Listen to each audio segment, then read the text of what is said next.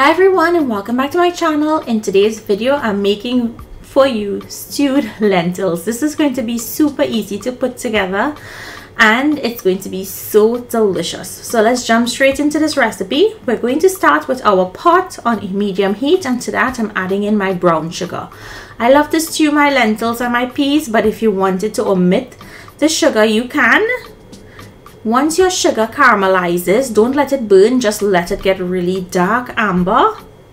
Um, you're going to go in with your soaked lentils. You can use any other type of beans here if you wanted.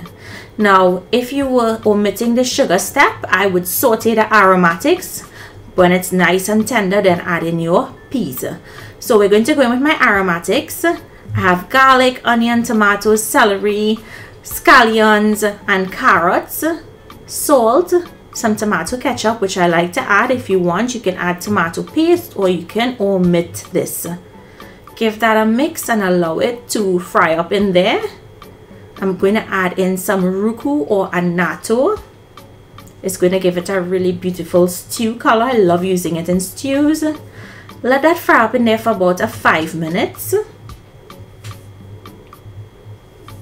Now, at this point, we're going to go in with the chopped celery, which I forgot to add, and you can all you can also add some pimento peppers, guys. You'll notice later on in the video I put in the pimento peppers because I forgot to put it in. Because this was a very quick cook and I decided to record it for you all.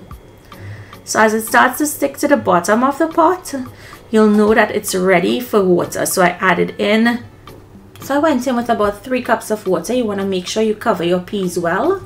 Now you're going to allow this to come up to a simmer. Once it comes up to a simmer, here is where I'll drop in the pimento peppers that I forgot to put in earlier. And allow it to continue to boil until it starts to reduce and your grains start to soften. And you see how it reduced and how it looks?